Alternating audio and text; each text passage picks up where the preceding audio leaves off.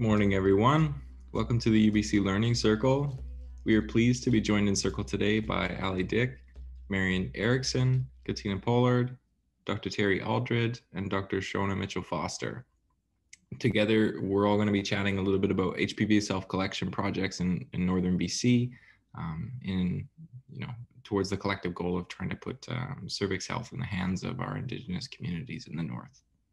Um, so before I get into anything else, I would like to acknowledge that I'm zooming in from the traditional, ancestral, unceded and occupied territories of the Hunkaminam speaking Musqueam people.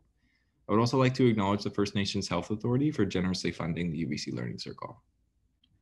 So uh, a gentle reminder here, the topics we cover can sometimes be sensitive or emotionally triggering. Please make sure that you're looking after yourself. If at any point you feel that you need to talk to a friend, elder, counselor, or family member, please don't hesitate to do so. Make sure you're accessing that support network if needed. So introductions. Uh, my name is Cole. I'm from the Tsleil-Waututh First Nation. I'll be facilitating the session today. So we'll be learning alongside all of you uh, from these wonderful, powerful women here today. I'm sharing our digital space, but off camera is uh, Cynthia, our production coordinator. If you feel so inclined, please introduce yourselves in the chat box and we'll, uh, we'll get started. And with that, I'll pass the mic over to Ali. Great, thanks. Uh, we'll just start with uh, some introductions. So my name is Ali Dick. I am joining today from the traditional unceded and occupied uh, territories of the Wet'suwet'en Nation. Um, since 2019, I have been a project assistant supporting two of the three um, HPV self-collection projects in the North that we'll be sharing about today. Um, so happy to be here and excited to be sharing about this. Um, and I will pass it over to Katina to introduce herself. Tanji and good morning, everyone. Um, first off, I just want to thank Cole and the entire UBC Learning Circle uh, for giving us the opportunity to opportunity to present on this very important topic today. Um, we're also passionate about uh, cervical cancer screening, so we're really looking forward to answering your questions and comments uh, throughout the morning. Uh, so Dashika Shan, Katina Pollard. My name is Katina Pollard and I am the HPV Self-Collection Project Assistant with Métis Nation BC. Um, I'm a proud community member of the Thompson Okanagan Métis Association, which is located in Kamloops, BC. And I'm calling in today from the traditional territories of the Dunniza Treaty 8 First Nations communities, which is also home of the Kelly Lake Métis Settlement Society. Thank you, and I'll pass it over to Shona. I'll, I'll just let Marion go first there. Hadi Huna Steve was Wasahtil, um, Marion Lay Suzy, um, Seatley was T. Um, hi, my name is uh, Marion. Um, I'm glad you're all here today. And um, I live in Seatley, uh, KO, um, which is part of the Dakelh Nation. I'm from uh, Nak'azdli. Um, and uh, I am a master student at TRU, um, as well as a research manager at the Health Arts Research Center. Um, maybe I'll pass it to Shona. Hi, everyone. Uh, good morning. Thank you so much for joining today. Um, my uh, my name is Shona Mitchell Foster, and I'm a uh, sixth generation uh, white uh, settler um, from Treaty uh, Treaty Six territory, and um, I I wasn't born in um, Canada. I was born on the territory of the Rurigancho people um, in what you might know as um, Lima in Peru. Um, and today I'm, I'm speaking to you from uh, the traditional and unceded territories of the uh, Lheidli uh, where I live and work. And I'll hand it over to Terry.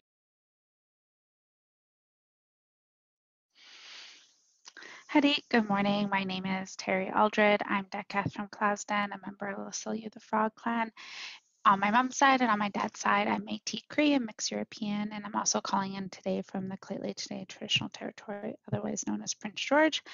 Um, and I'm a family doc by trade, um, and in uh, this circle today, as um, as one of the physicians who helped to um, facilitate the uh, handing out the HPV kits, for lack of a better word. Um, and I'm really happy to be here. Great. So with that, we'll get this presentation slides pulled up. Right. So today we're going to be uh, sharing about our um, yeah, set basically kind of three uh, three projects uh, across the north. Um, next slide, please. And we've uh, talked about where uh, the territories that we're each calling in from. And uh, these projects um, were, were done on both First Nations, traditional and unceded territories, as well as among chartered Métis communities. Um, and certainly without um, their welcome, uh, this work would not, uh, not at all uh, be possible. Uh, next slide.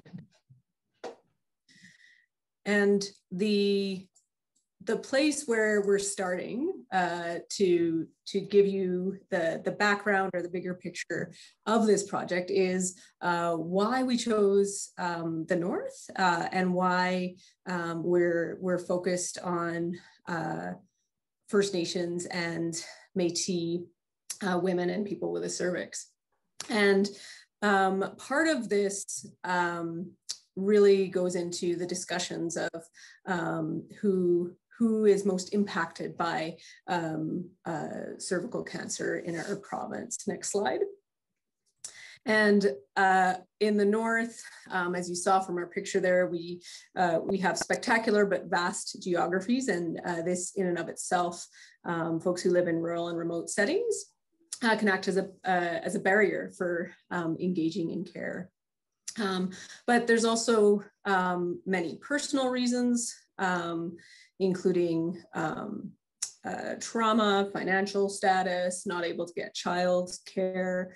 Uh, we have health system capacity issues. Uh, so just not having the human resources uh, to be able to provide um, uh, screening options to, to everyone. And uh, from the data that, that we know of, so um, FNHA and BC Cancer um, did a, a, review a few years ago uh, looking at uh, rates of all different kinds of cancers provincially.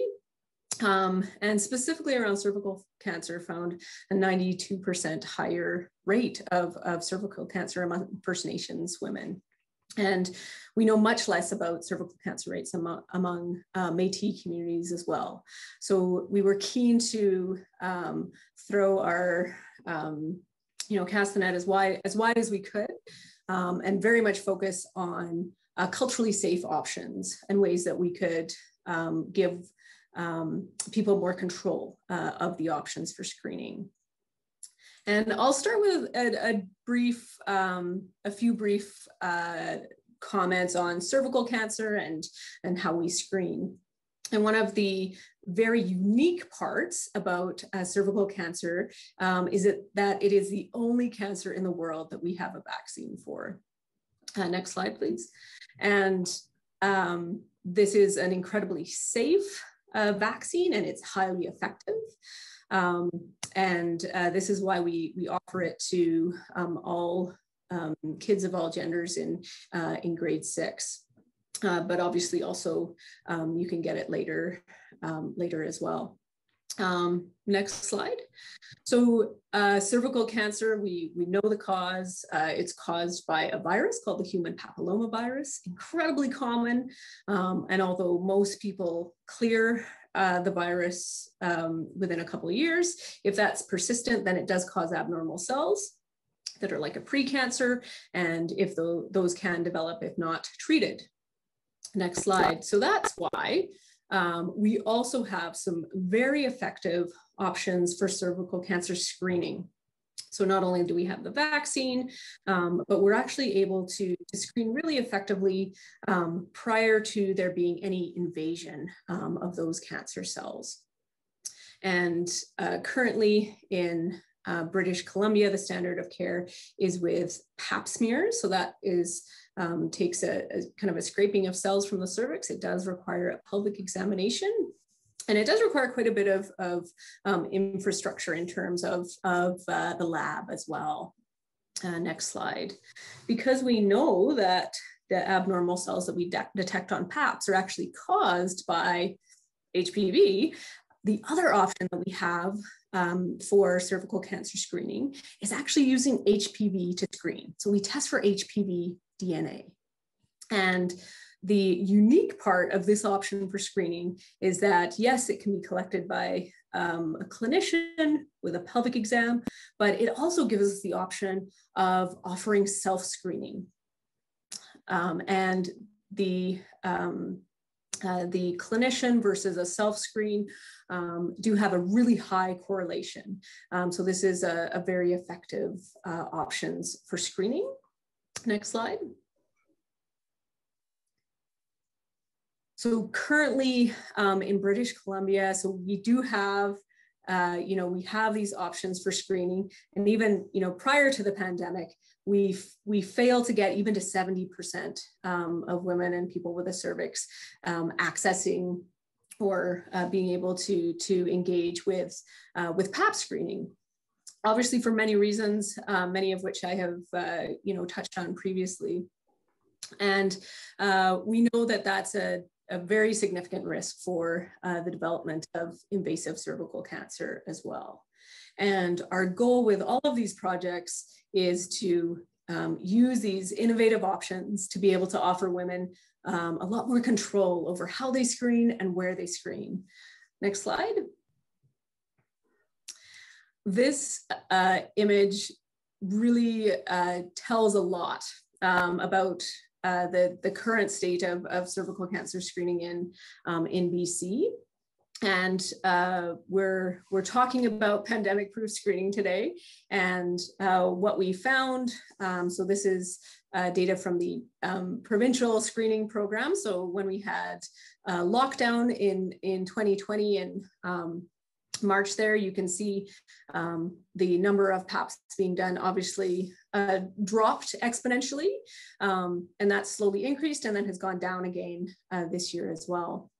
And currently, provincially, we're um, estimating that there's about 100,000 uh, PAPs that are overdue. So this is in addition to underscreened women that we may not uh, know about, uh, but women who kind of were due during the, the past year, year and a half.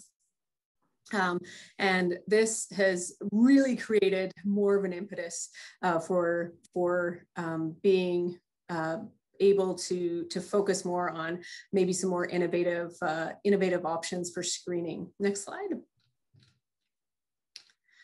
And um, the, the folks that we're um, focusing on um, are underscreened women. So uh, more and more are becoming underscreened um, all the time. Um, there is um, an age criteria um, as well. And the you know, three uh, projects that you'll be hearing about all have slightly uh, different ways of engaging and, and where and how they offer, um, offer the, um, the option of self-screening. Next slide. Um, so there are uh, a lot of different uh, partners um, on board here um, and funding is from uh, CIHR at a federal level, um, as well as from a private uh, foundation. Um, and um, you're going to hear some more details about all of these projects. Um, but first, I want to hand it over to, um, to Marion, who has been an incredible uh, partner and given us a, um, a very unique perspective on uh, the experience at that, at that interface um, with screening and, and treatment. Um, so I'll get the, the next slide and hand it over to, uh, to Marion. Everyone. So again, my name is Marion. Um, thanks for the introduction, Shona. Um, so I sent along a puzzle piece that should have come in with your um, event um, package. Um, so um, I just thought I'd give a little bit of a background. So at the Health Arts Research Center, um, at UNBC is where I work as a research manager. And a part of my job is um, dealing with a lot of the um, anti-Indigenous racism in healthcare. And um, we do that in, in a large way through the arts. So um, one of the things that I know from sitting in a lot of Zoom meetings uh, throughout this pandemic is um, that you there's a lot of missed opportunities to um, engage in in art um, in and engage without just watching and just sitting there. So if you're just sitting there, please take out your puzzle piece. Um, and I just want to ask people um, during this session, if you can just think about how this session, um, how what you're learning today um, will enable you if you are in the health um, and caring positions, um, how, how you fit into your community's uh, holistic health. Um, and I'm hoping that you can um, just reflect on that while you're while you're learning today, and um, take a picture of it and send it back to the um, event organizers, um, so that I can put it together into one big puzzle piece. Um, and I'm just hoping that that yeah, there that that people can take away from this the research, but also um, think about uh, what what uh, exactly is going on in healthcare. And and one of the things with regards to screening is is um, the intergenerational uh, trauma and also the racism that indigenous women um, the that indigenous women experience in healthcare. I think there's a lot of uh, hesitancy. Uh, i know when i first met dr shona mitchell Foster, I was actually, I didn't really have much trust for her um, when she told me that I needed to have a LEEP procedure.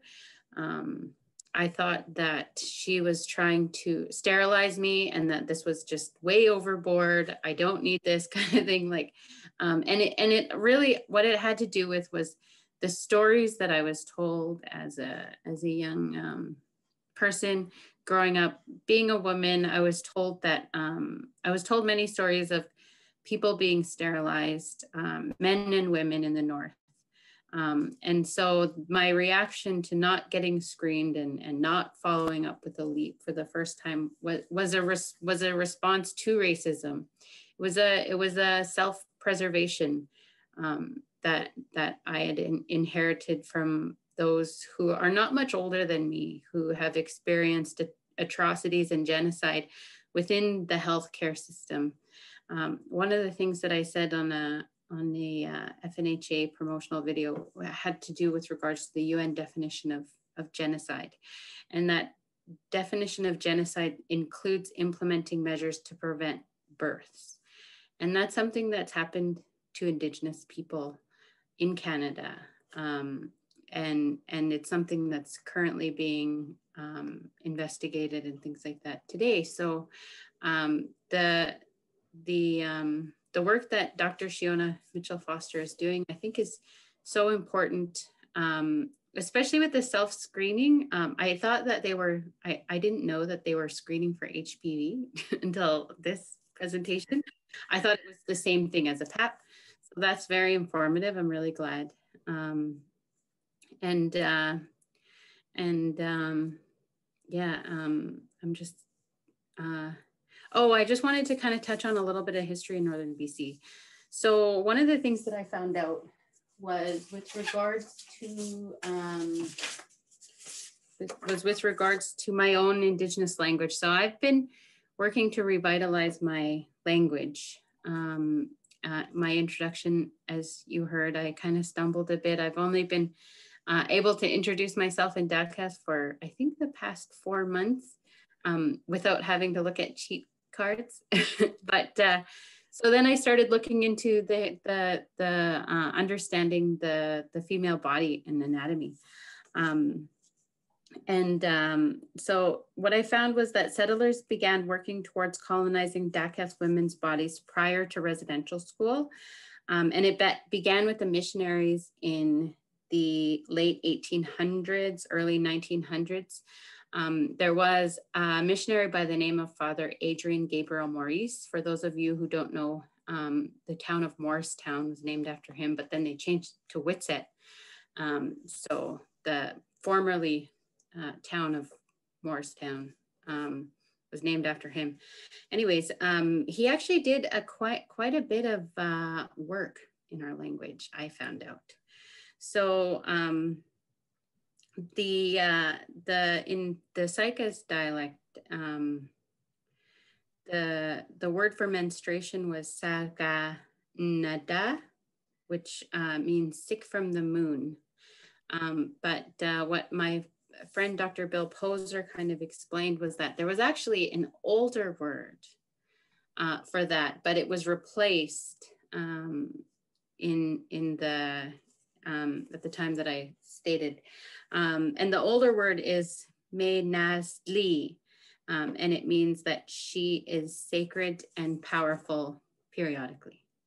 Um, so I, I was actually really, um, well, obviously very angered by that, but I also found that there was quite a, there, there's a lot of different um, words that were developed um, in our language um, by the missionaries um, to, to describe women's bodies. So for instance, in the Dakelh language, um, I, I, mean, in the Nakazi dialect, there's a word that means between the breasts and the and your vagina uh, or and your um, and that area they decided to just name it all one thing so that whole area they called it my shame and i thought that that was the the uh the strangest not strangest but for me as not as not being catholic i found it very strange um that there was these words developed, but it's actually been a part of the colonization of Indigenous women's bodies. And I think that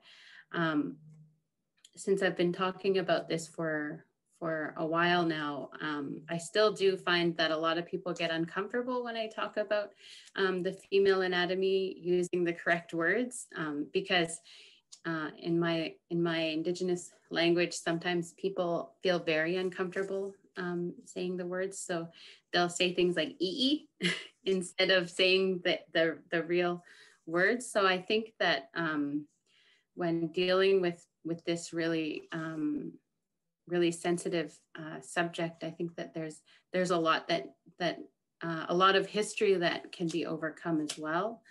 Um, so I'm really glad for this work, and I'm really um, looking forward to a lot of the really good results um, from this research because um, Indigenous women uh, really need um, a lot of support because a lot of times we don't think about our own health. We're so, we, we're matrilineal, so we take care of our whole family. And that was another thing is somebody said, you know, you take care of everybody. You should really take care of yourself sometimes. And so I'm hoping that with this presentation, um, a lot of people take a look at the stats and think to yourself, maybe I need to go in and get screened uh, as well. So um, I think this work is really important. Um, so thank you.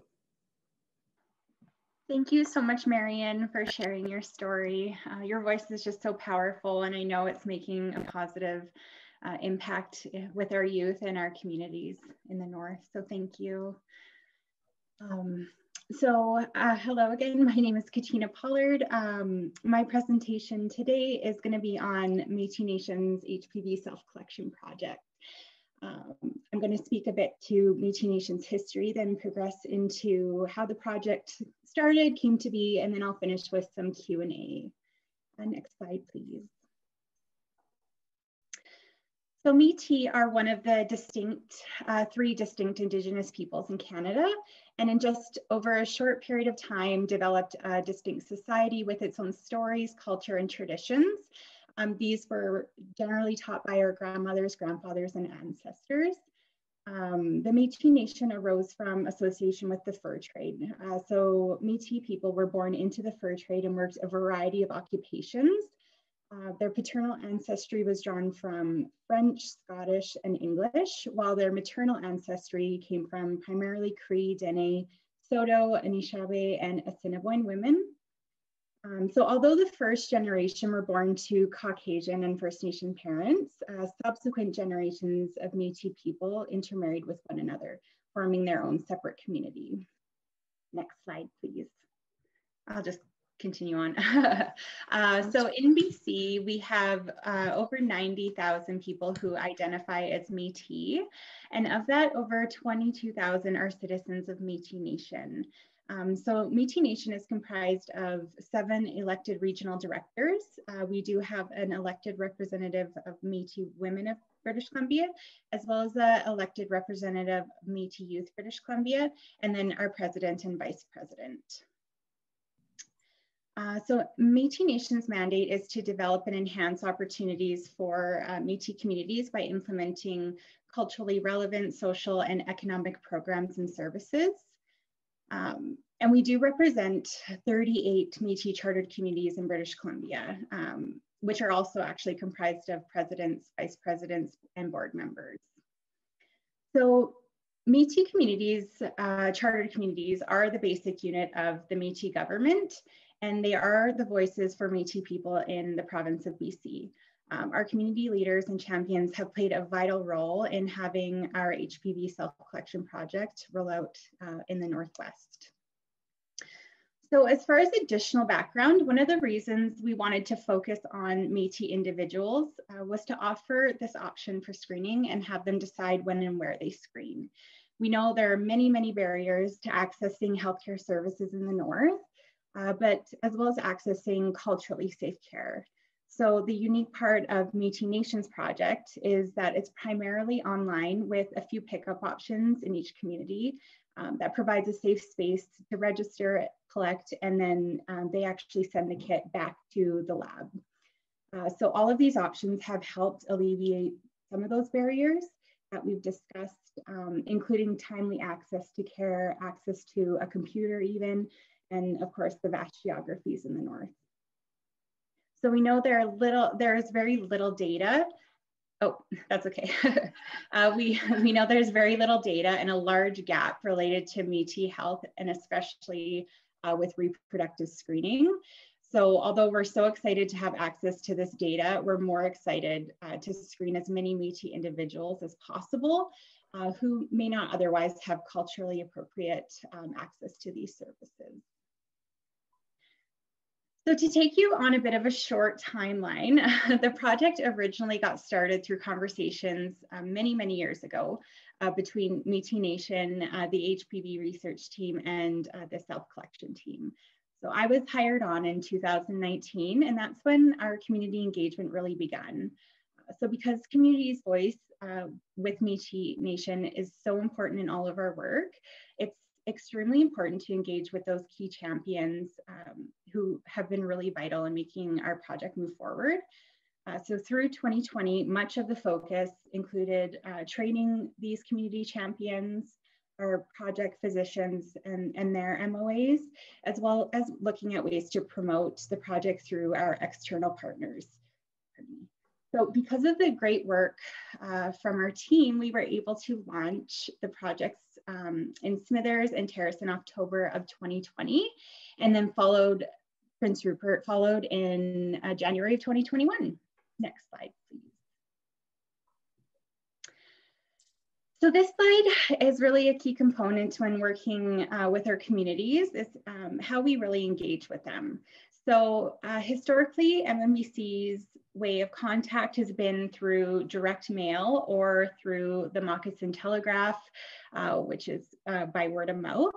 Uh, we, so we've also been utilizing our online platforms such as Facebook, Twitter, and Instagram. Uh, we've also had opportunity to highlight the project in an article in the Terrace Standard. And then recently Shona uh, has done an interview with the APTN TV network as well. Marion was involved with that too. uh, so I think the biggest learning through all of this has been engaging with our community and ensuring that we're adapting our um, their ideas to what works best for them for the project. Next slide, please. Great, so because our project is primarily online, I just wanted to highlight and show the Cervix Check website um, and quickly just run through the registration process. Uh, so in order to register, you do need a valid email address along with a unique code that we do provide. Um, so a participant can request a code from myself or the Cervix Check team. And then once they're registered, uh, we'll need to verify their eligibility. Um, and then after that, we will uh, mail them a kit, which includes the lab rec device and the instruction manual.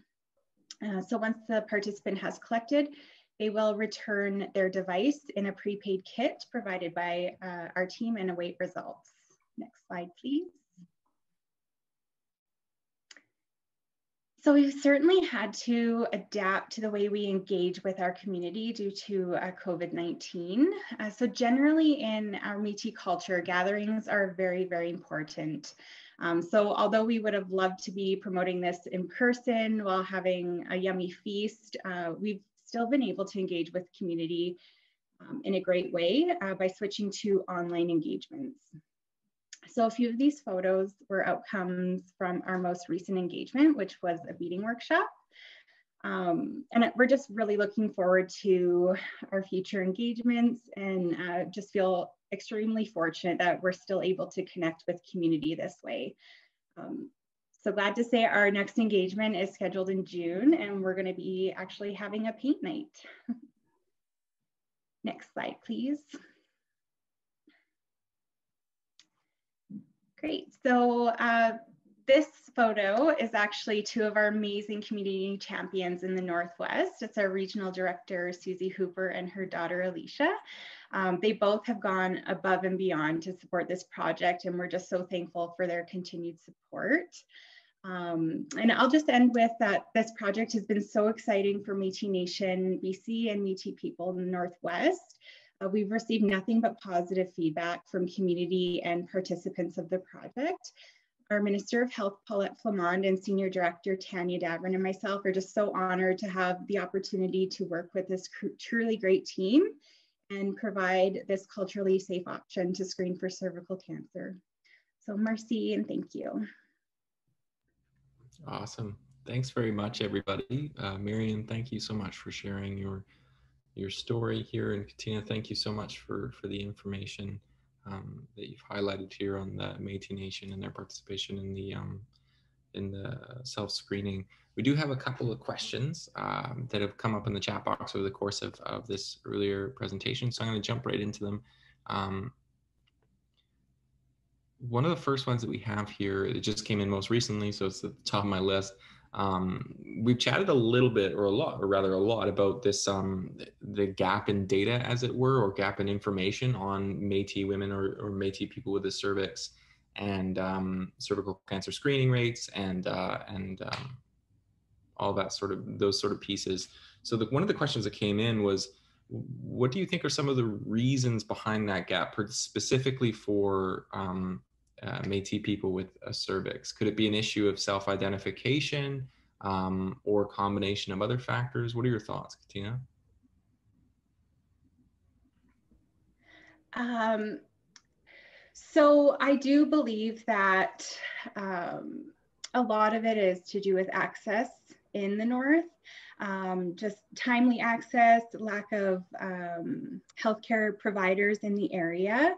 Um, certainly COVID has impacted um, that as well. Um, I will pass this over to Shona. She may have more to add.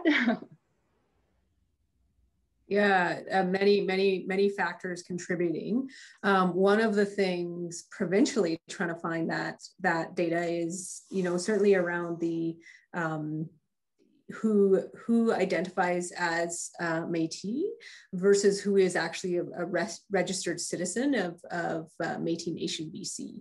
Um, and when we um, when we look at our um, kind of uh, provincial databases, that that information isn't isn't always captured.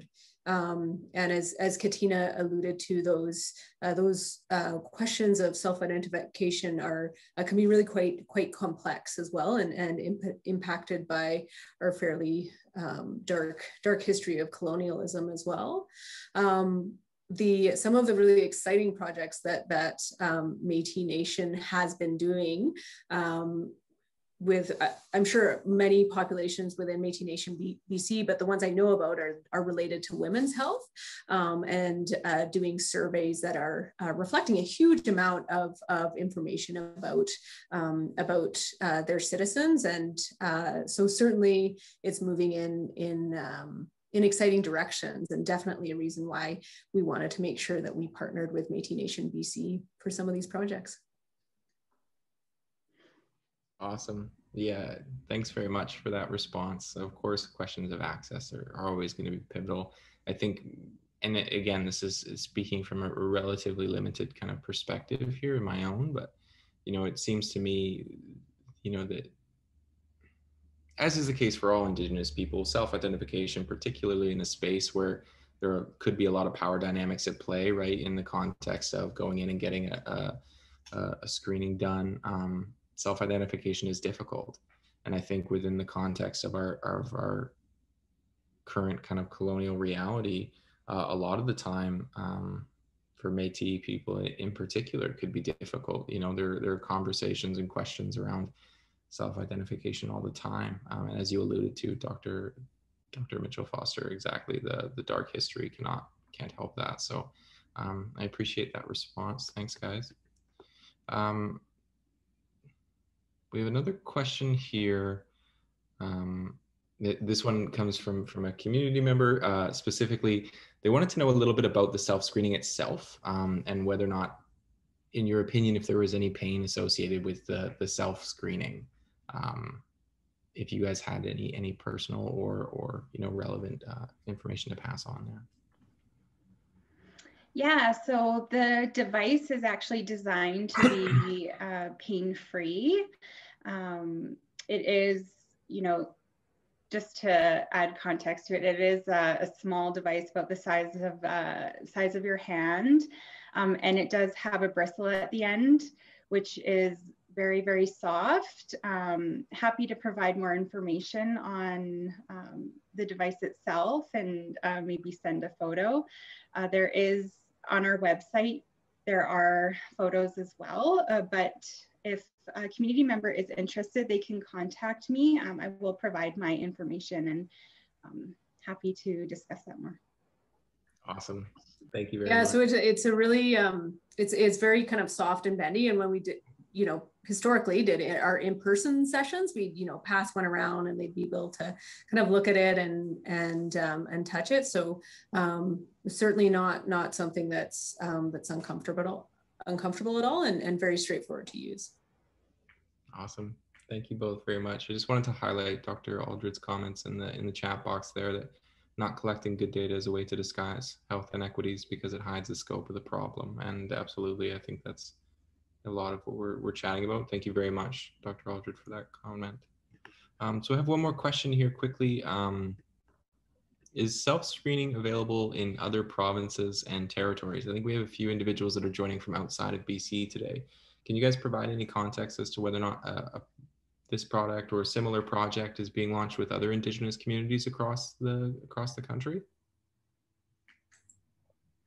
Yeah, so it, um, uh, currently there there um, are other um, pilot project with uh, with self screening, um, but um, these these projects in BC are, are fairly unique as far as the, the approach that we're using.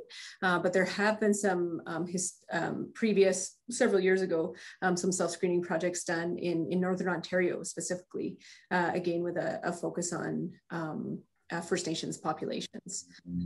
So absolutely, it's something that um, we're we're optimistic about um, you know moving forward and and being available on a much uh, much wider level. Fantastic. Thanks very much. Um, i think we can kind of proceed forward with the the powerpoint and um, we'll save some of these other questions for a little later on. Thanks guys. Sounds great. Thank you so we will now be switching gears and introducing a second HPV self-collection project based out of Northern Interior, British Columbia that works in partnership with Carrier Sekani Family Services. So Carrier Sekani Family Services is a health and wellness organization providing culturally safe services to 11 Carrier and Sekani member nations. They offer comprehensive and diverse services within community health centers. Ooh, that interruption. um, they offer comprehensive and diverse uh, services within community health centers and um, have a great team of health and wellness workers. So here we have a map showing, excuse me, the approximate location of nine health centers currently providing self-collection kits. So eight out of the nine partner health centers are based in rural or remote locations. Um, the ninth health center is located in Prince George and um, services urban or transient County members. Uh, so to outline this project's timeline, in 2017, discussions and partnerships around this project were started. And these discussions included Carrier Sekani Family Services uh, research team, as well as their board of directors, uh, community members, health staff, and the HPV self-collection project team. These discussions were centered around getting feedback on project process, um, identifying ways to reach out to community members, outlining the best language to use on project materials, and more. In February 2019, the project was launched into eight community health centers, uh, and we received immediate interest from people wanting to participate. And then in March 2020, the project saw some changes due to COVID-19. Um, and as a result of the temporary closure of some health centers and in-person services, um, we put a pause on the self-collection. Uh, but shortly after, following some discussions with our community partners, it was decided that self-collection kits could be offered again, considering they can be accessed um, even with physical distancing in mind. And then in January 2021, uh, the ninth health center was added, which is the one in Prince George, um, which has the goal of offering the service to carrier and Sekani members who live off reserve or who are transient. So to situate you and identify where these projects take place within the province, we wanted to share this picture outlining Carrier Sekani traditional territory. Um, and we also have a list of the nine participating health centers um, and I really want to, want to emphasize that these health centers have been crucial spaces for the success of this project because the majority of them can be accessed by foot from people's homes or through a short drive, uh, or in some cases through a short snowmobile ride away. Um, they're safe and welcoming environments and spaces that host cultural events, lunches, and other gatherings for all community members. So Carriers to Sekani as an organization is unique in that they prioritize research and wellness work in response to community identified needs. So community members and health staff recognized that there was a need for alternative options to cervical cancer screening and that there were barriers to accessing pap tests. So in order to respond to community identified needs, Carriers to Sekani Family Services developed um, a process where uh, many voices can come together and engage in conversations around projects, ideas, or ways to address these community needs. Um, so this process is centered around listening and taking a community-based research approach. And this is how we move forward with the self-collection project back in uh, 2017 and is how conversations continue to this day. Um, so this project was developed through the involvement of many people around the table. So the Carrier Sekani Family Service Research Advisory Board and Board of Directors, health and wellness staff, elders and knowledge keepers, community members, and more. Um, this process allows for diversity in perspectives and thoughtful approaches to be developed. Um, the topic of introducing a self-collection option was welcomed with enthusiasm and our team is, is so grateful for the many voices and contributions to the development and implementation of this project. So here we have a graph. Um, so this is a visual to demonstrate the different recruitment approaches that were taken in different communities to engage uh, both health staff and community members and help spread awareness about this cervical cancer screening alternative. So each community is slightly unique um, and has some variety in how recruitment approaches were used. In all of the communities, we have a number of different health providers um, that are involved, and we've taken different approaches for engagement. Um, some of these approaches include organizing in community meetings with health staff and community members, working with uh, community champions, attending health and wellness days and health fairs, as well as distributing materials which include monthly newsletters, uh, project posters, and invitation letters. So community engagement is a key component to this project's success. Um, similar to the Métis Nation BC project, prior to COVID-19, our team would travel uh, into communities to host lunches, attend health fairs, set up display tables, and have in-person conversations with people. Um, but due to COVID, we made a switch to a virtual approach for engagement, which includes um, developing content for newsletters that get distributed monthly to uh, health staff, as well as developing content for the Goozy newsletter, which is this beautiful newsletter that's put together four times a year by the Carrier Sekani communications team, um, and it's printed and circulated in communities. So the ongoing success of this project, despite the pause in in-person visits, has been the support from community health staff uh, and community champions who have continued to advocate for this work and share information with their networks. And we found that promotion through word of mouth uh, within social networks has been a, a really key piece to informing people of this opportunity. Our approach for community engagement prior to COVID 19 and now is based off an understanding that there is a digital divide that exists within these communities.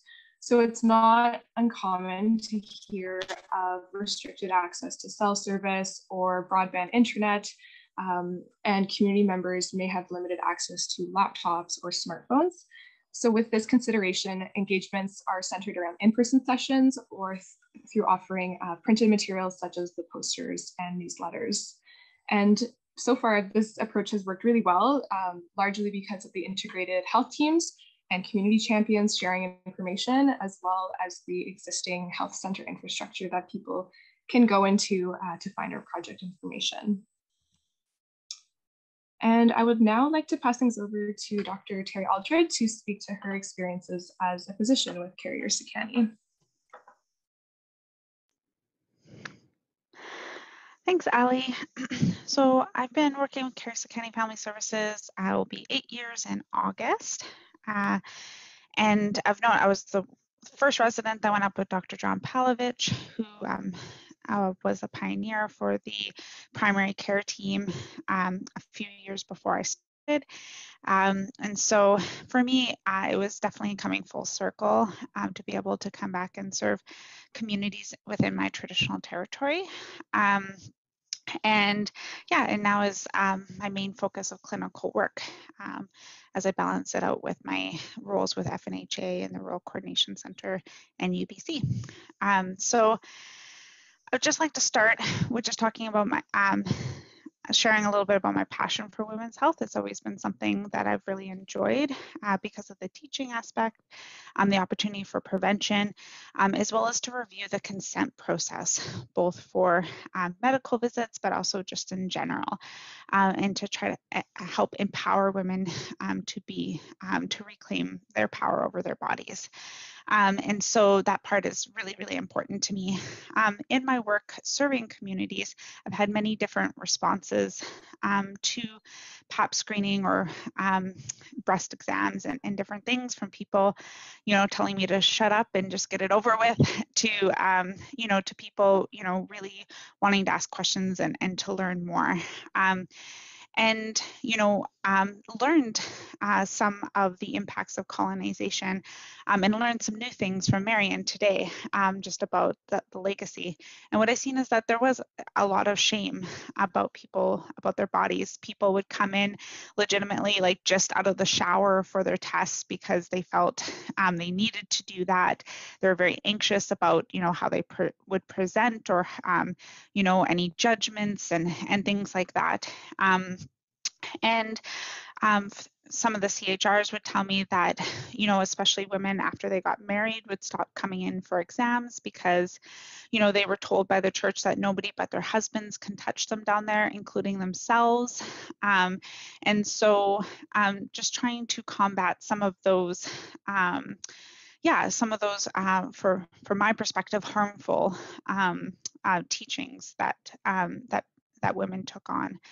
Um, and for me uh, in my belief system um, that that's not um, that's not generally how matri- matriarchal people are. Um, you know, we are women's bodies are gifts. We're tied to the land. We're able to um, give and sustain life. Um, and so for me, um, I just feel really passionate about teaching women about, um, you know, what a blessing they are and what a blessing their bodies are and um, the gifts of, of their natural cycles, as well as educating about how things can sometimes um, go wrong, uh, for lack of a better way of saying it, or, you know, um, things that we can do to help if people are having difficult uh, periods or difficult pregnancies or difficulties with menopause, um, and trying to change that patho pathologic uh, patho no trying to verb uh, change that into a verb. Essentially trying to change um, the onus from um, pathologizing our bodies. There we go. Um, and um, so, so this work is really important to me, um, and just honoring the fact that, um, in addition to the colonial, um, you know, uh, effects um, that have induced a lot of shame, um, there's also a lot of intergenerational trauma and personal trauma that people have that can affect, you know, their responses to coming in for really sensitive and sometimes uncomfortable exams. And so um, with that, I think it's really important to give people choice, um, and that and to empower people to um, to make those the decisions that are right for them and their bodies. um, and so with this, I, I do feel that it, it gives women another option um, that uh, that can help to screen because oftentimes women are very anxious about this. They do want to, um, they do want to know, they do want to make sure that they're okay. Um, and so, um, but sometimes having, uh, you know, an invasive exam is just something that's not, um, that's not open to them. They just can't do it. And uh, so to me, that that's really important. Also, it kind of de-emphasizes um, the physician as the one that needs to do this, um, which sometimes some of our communities don't have a lot of access to physician services. And so, you know, even our MOAs can help to distribute kits and, and go through some of the education as well as our community health nurses. So I, I think that um, helps to improve some of that, those access because, you know, there's some people who still feel very uncomfortable with physicians, um, e even me. Um, and so there's community members that I've that I don't know that that don't want to come and see me, and um, and so they should still have access to these services. Um, and you know, I I think um, kind of coming back to the um, those feelings of shame or inadequacy and and part of um, uh, the colonial process is also that Indigenous people often feel like they're not as qualified, that they don't know as much. Um, and so, you know, kind of educating people that, you know, they can do this. They could do a self collection if, if that is what they wanted to, or if that's what they would prefer to do to help kind of um, enf- enforce those messages. Because um, oftentimes I come up and women feel very um, insecure or they don't trust that they're, they're able to do it. And so um, I think that that's yeah, that, that's another way that we can help empower and to address some of those colonial messaging. Um, let me see. Yeah, I guess um, the last thing I'll, I'll end with uh, is, you know, for me, you know, I think that it's always really important to come back to that, you know, the impacts of colonial um, colonization and, and, ongoing colonialism because it impacts access. Um, it also impacts um, our, um, our, the the amount of morbidity and mortality in our communities, um, the trauma um, effects on our bodies. that these can have deadly consequences. And when we look at Indigenous women, we can be disproportionately affected. Uh, on May 5th, you know, it was uh, it was a national day of remembering of a missing, murdered Indigenous women, and that you know that that's part of the this continuum of the devastating effects. And for me, um, in particular, to cervical cancer screening. Um, one case that you know will always have a lasting impression on me is a young woman in her 20s who was diagnosed with invasive cervical cancer while she was pregnant with her fourth child. And over the course of the next 18 months, um, did eventually succumb to, to the disease because she was so heavily traumatized that she could that she never could bring herself to have a pap. Um, and you know, in uh, sitting with her and talking with her, you know, she just said there was no other way. There was no way that she was going to be able to do that. And so I do think it's just important to know that, um, yeah, that that these uh, that the impact of this, the impact of having a 92% higher incidence, is that um, it makes it so that we lose um, our community members and our family members sooner. Um, and now, you know, four children grow up without their mom. Thanks. Thank you, Terri, for sharing your your experiences and your perspective, for being such a great advocate for this work. Um, so we'll take a pause here, and I don't know, Cole, if there's any questions uh, specific to to this work with Carrier Sekani. Sorry, I just have to take a moment to um, gather myself. That was such a powerful story. Um, and you know, the part of it that, oh, that is a, it's a devastating story. And I think that part of it that is really upsetting to me is that it's, it's, that like you said, we just had a, a national day commemorating the ongoing violence against indigenous women in this country. And this is a direct impact of that. And and it just highlights the importance of this session. And i, I will compose myself and carry on. I apologize. Um, thanks for that uh, thanks for that Karen. so we had a question come in uh, i assume it's from a, a younger um, individual and they just wanted to know when would be a good time for them to start screening. I assume that as we can you know with this availability of the uh, with the availability of this project in the north um, perhaps the opportunities will come earlier for individuals. So when would you um, would you all kind of collectively recommend that someone start screening or start getting uh, you know participating in the self-screening project uh, so again, these are still, um, you know, pilot projects uh, that we're, you know, hoping to to scale up, which I'll touch on on later. Uh, but currently, depending what province you live in, there's slightly different guidelines. Um, and at the end of the presentation, we're, we're also going to have provide some links to resources about, uh, about those guidelines. So currently uh, the standard of care in British Columbia is, is screening with, with pap smears, um, and that starts at um, age 25 um, or uh, three years after the onset of sexual activity, whichever is later. Awesome, thank you. I just had a, a, question that kind of came to my mind as well, and, and I noticed, I believe in the slides that you showed us a little earlier, Ali, that the conversation around the self-screening project started with Carrier Sekani in 2017. Is that correct? And yeah. Shona, uh, sorry, Dr. Mitchell Foster, you mentioned that there were pilot projects before this that were out in Ontario that were talking about self-screening. Is that correct, or was I misinterpreting that piece? Yeah, so so self-screening is something that um, there's growing, you know, huge amount of evidence on now.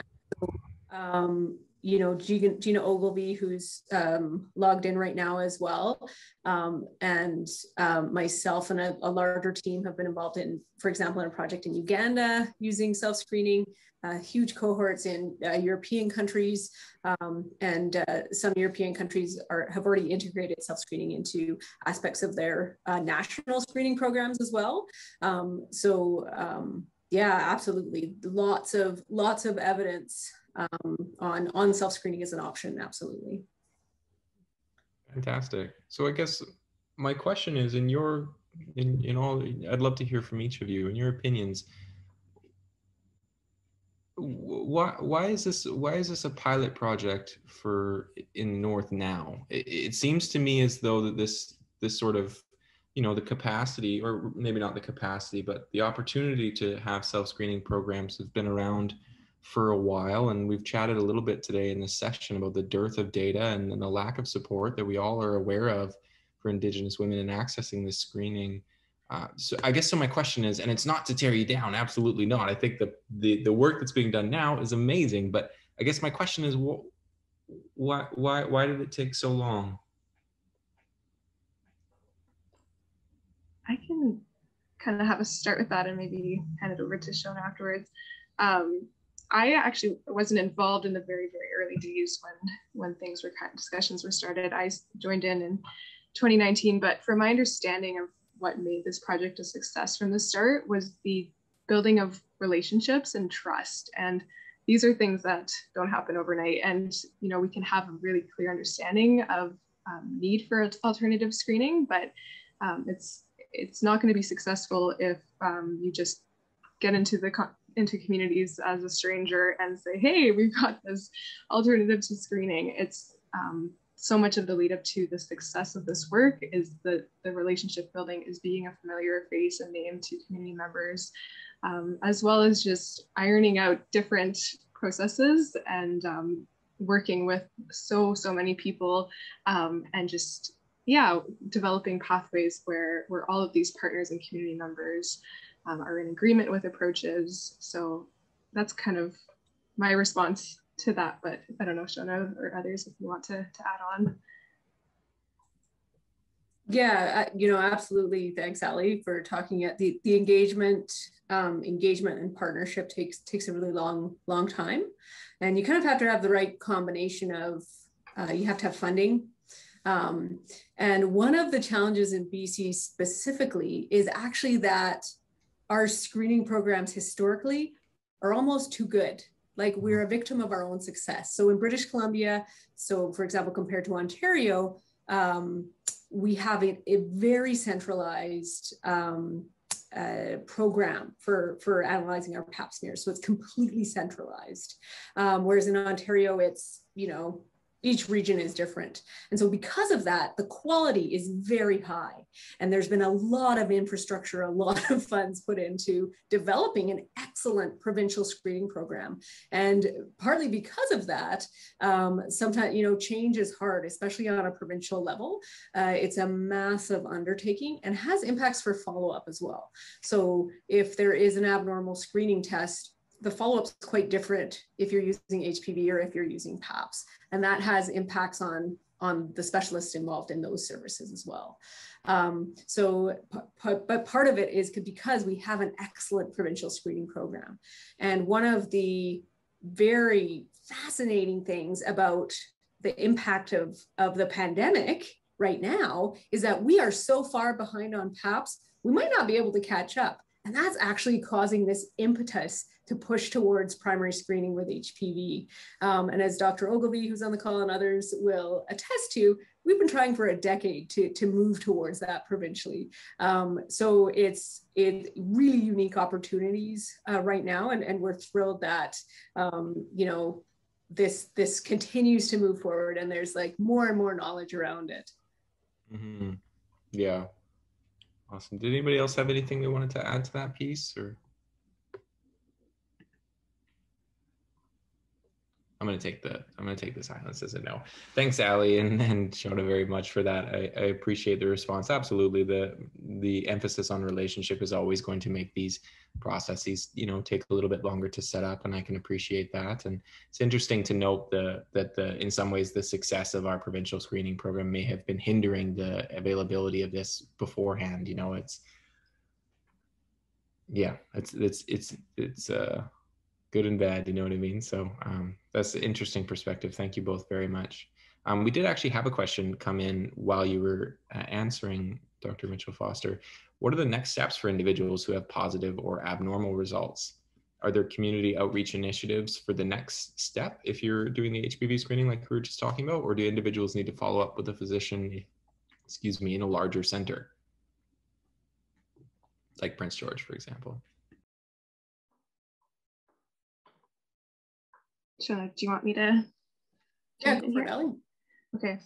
Um, yeah, no, that's a great question. And um, I think it's a, a, crucial part of this work is that um, the initial step of doing HPV self collection is great and really important. Um, and we get a lot of enthusiasm around it. But this that piece wouldn't be doing its job if we didn't do any required follow up afterwards. So the follow up piece is super important and something that um, our team um, really prioritize prioritizes supporting. So um, depending on the result, there might be a need to have a follow-up pap test um, or alternative, alternatively, there might be a need for a colposcopy appointment um, and that takes place in Prince George for the most part. There are a few other um, colposcopy clinics in the north, but um, that's a huge part of, of as a project assistant, um, and I can speak on behalf of Katina as well, where we step in and, and really ensure that that follow-up care is being followed through.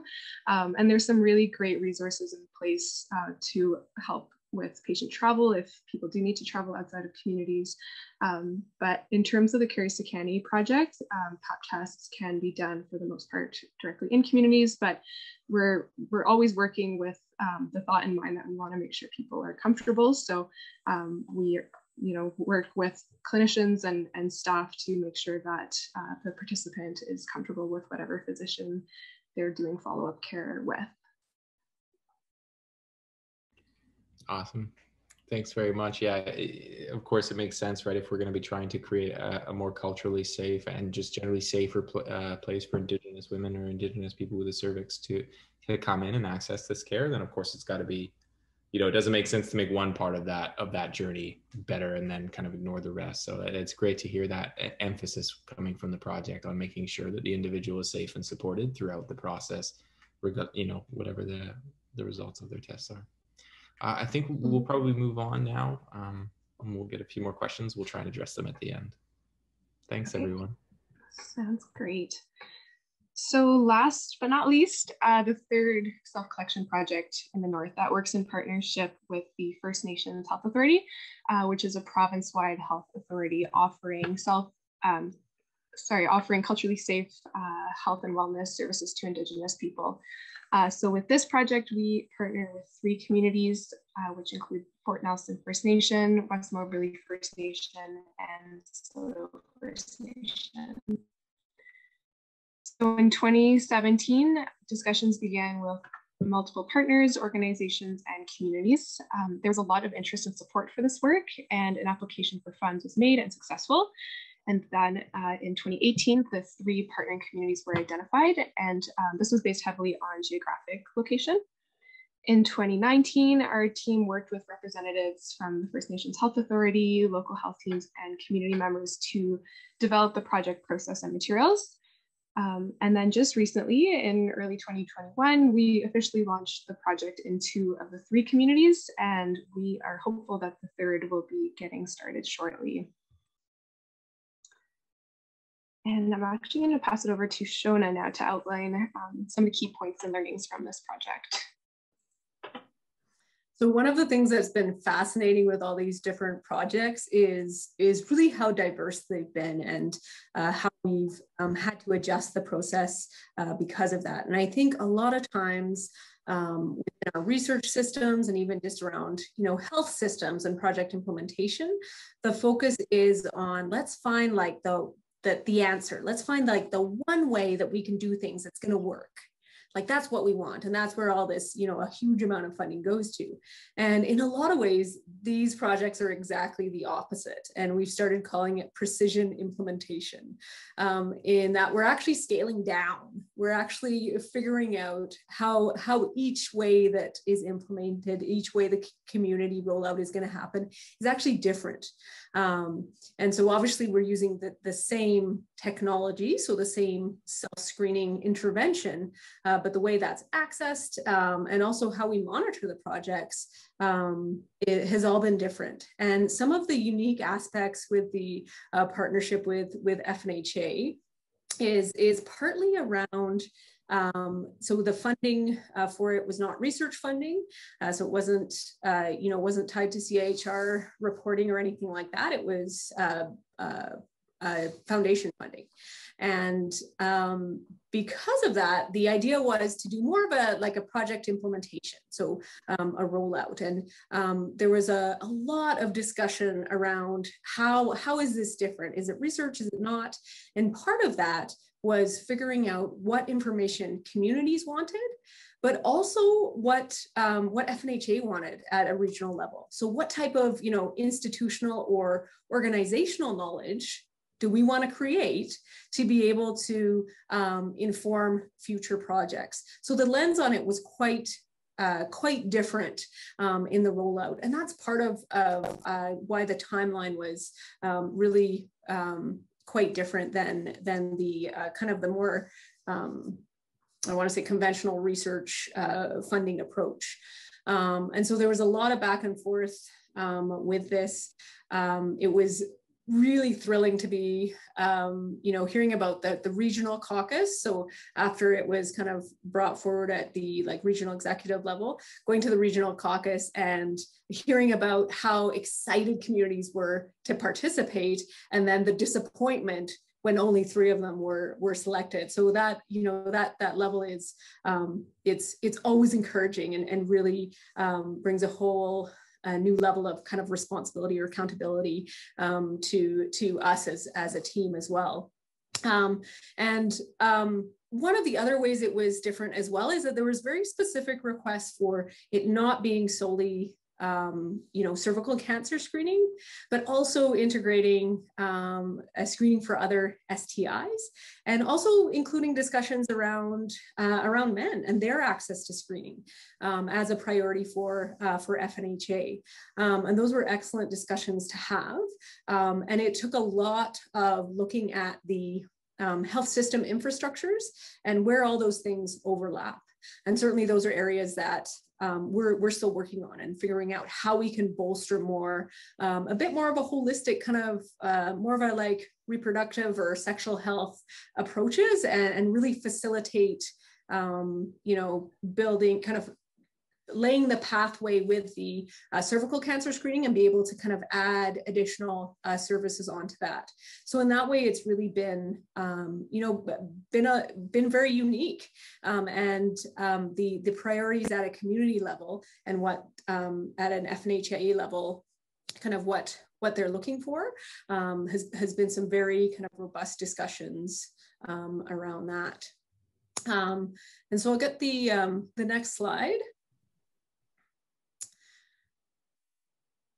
So um, the um, the thing, you know, I, I, mentioned it before that we're part of this larger provincial um, uh, research group uh, and very focused on uh, cervical cancer elimination.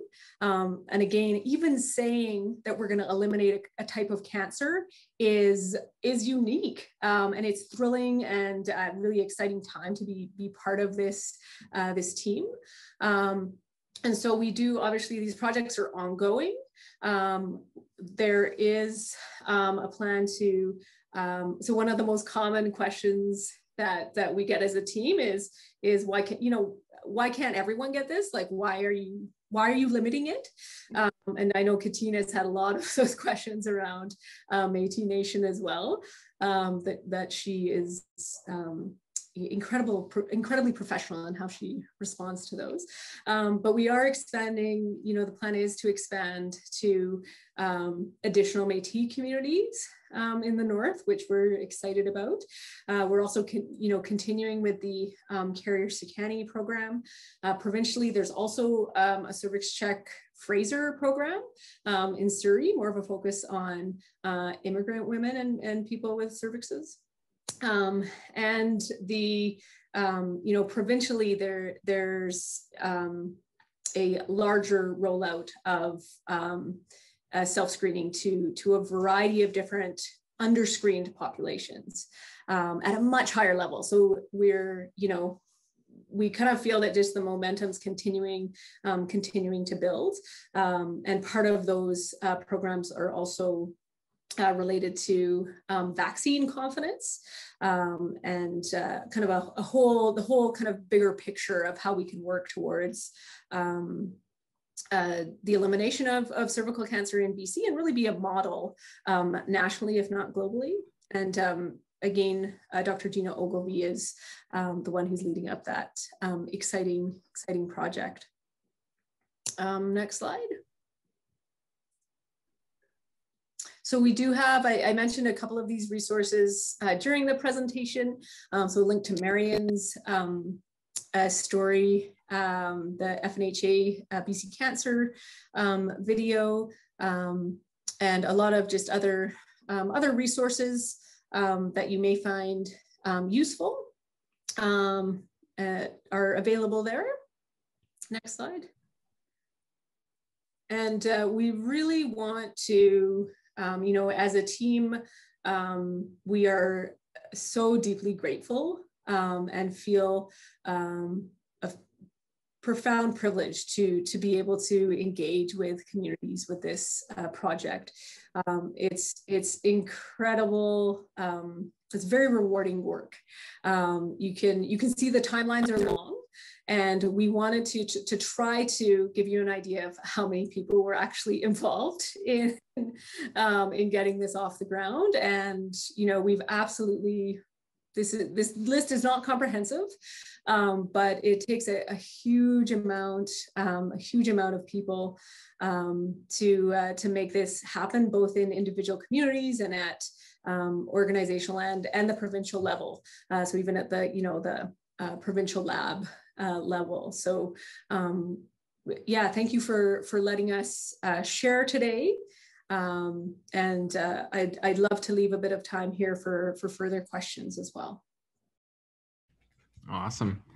Thanks so much, everybody. That that was really, really informative. I feel like I've learned a whole lot. We're going to transition to a few more questions that we have left over um, that just kind of uh, we didn't get the chance to address uh, throughout the presentation so one of the first questions still kind of left to just in the spirit of kind of continuing to improve and i appreciate that one of those last slides there uh, dr mitchell foster we highlighted where the pro program is going for the future because that was one of my next questions was kind of how how are we going to take this work forward. But um, one of the questions that came in was uh, was around barriers that that still exist uh, what do you guys see, or or how do you what do you guys see as being the the biggest barriers that still exist? You know, even with the HPV sampling um, project that we've that we've rolled or that you've rolled out here, and how are you working to kind of address those? How is it working to kind of continue to improve um, that project? Would it just be access for communities? Um, would you like to expand the access out more, or, or kind of what are your thoughts? Um, can I just, I just want to touch on that. So um, I think one of the barriers that I, that I see is a lack of Indigenous women in healthcare positions. Um, and uh, part of my work at the Health Arts Research Center is uh, dealing with that, but also in my master's thesis, I've been working towards um, increasing Indigenous women's uh, uh, role in, in women's health uh, and community health. So um, for my master's thesis, I'm using um, action research to create a curriculum for um, birth workers um, so that we can have um, uh, uh, birth workers trained um, who might go on to become nurses, who might go on to become midwives, kind of like a sort of like a skills training, but for the community that is culturally informed. Um, so I, I, know that for a lot, for myself, the way that I started my journey as a researcher was I went home for a while and I was a traditional knowledge researcher for about a year.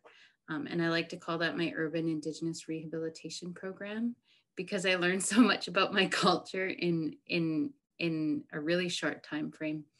Um, but um, that's kind of my, my feeling is that um, in order to for people to have success in in the, the really colonial environments of inst- institutions where people go to learn like um, UNBC or UBC midwifery program or um, Thompson Rivers University or anywhere, um, people would have a lot more success if they are grounded in culture, in a, a cultural understanding before they go. Um, so that's kind of the work that I that I'm hoping to that I am doing now actually, um, and I'm hoping to get the curriculum developed by May of 2022 um, during my defense. So yeah, I think that that having more Indigenous women in healthcare is is certainly um, a barrier, uh, but also it's something that um, I know a lot of people are working on, including our office here at the Health Arts Research Center and uh, and um, uh, the other organizations that were mentioned in this presentation as well. Great, thanks, Marion. Yeah, for sure. I think that's a that's a, a, a very big kind of systemic thing that uh, that we need to change, that we need to continue to work towards. And I know there's great work that's happening all over the place and trying to trying to address this issue of, of having Indigenous women be represented and involved in healthcare. At, at, you know, at every kind of point of the journey, let's say, for for an Indigenous woman or a person with a cervix that's entering the system. So, yeah, couldn't agree more. It's a great point. One of the um, you know the the other things is the looking at the cascade of of care so um, this is covered a bit in a previous question but um, you know we know from you know this study and others that women are are thrilled to participate so we tend to have uh, really high, you know, very keen to do that initial screening. But um, also critical is that if you have a positive screen, is the the follow up that's required at each step. And that may just, depending on the type of HPV you have, it may just be a PAP that, you know, Dr. Terri will do for you um, in Nak'azdli. But if it's a high risk type of HPV, that does mean traveling to a regional center for, for colposcopy. Um, and even having that specialized services available um, across the north uh, within a reasonable distance to, to women. Um, is an incre- like that is a real challenge for us right now in the north to make sure that that women don't have to to travel those long distances. Um, so it's it's absolutely like in no way is this like an easy fix. Uh, this is a step in the right direction um, and uh, ideally it, it, enables a discussion around uh, you know w- women being able to engage in in their own health and wellness and um, you know to take more more control take back control um, of of the screening. But um, absolutely lots lots of challenges.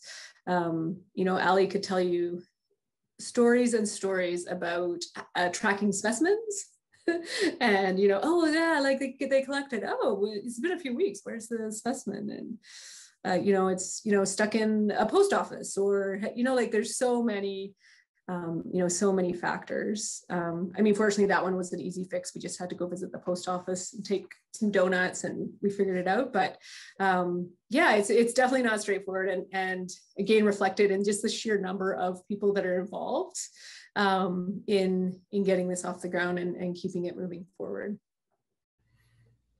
the untold stories of health champions donuts and post office workers. Someone's got to do it. Like I'll I'll step up for the. Absolutely. Did anyone else have anything they wanted to add to that question, or should we move on? Okay, so you mentioned that um, that when initially we were kind of, you know you kind of brought it to communities and chatted about it. There was a lot of um, there was a lot of excitement about the the opportunity for for this to exist. Um, and particularly in the north, obviously, we're talking about there's there's layers of issues in terms of access to this sort of care, right? For for the north, um, what is I guess what is the timeline for for the pilot and um, for you know for what, what we're doing now the time the timeline for the pilot project, and I suppose when the question could be could be phrased as like when would uh, when would this kind of service become more widely available or more like heavily available within not just the north, but in in BC, but beyond, you know, into other provinces. We had a particular question around um, communities in the plains, um, uh, like in Alberta and Saskatchewan and stuff, Métis communities out there.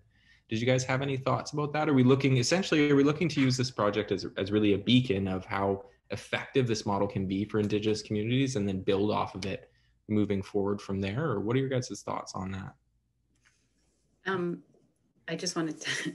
Um, one thing that I notice about initiatives that are done for the greater good of Indigenous women in BC is that it ends up being good for all women. So, like for one thing, the cell phone service on the Highway of Tears, though great for Indigenous women, um, it's great for all rural women within there. So, I'm looking forward to seeing if this can have more success for a lot of our rural women who who aren't indigenous. Um, so I think that like even just sticking to BC, there's still a lot of work to be done.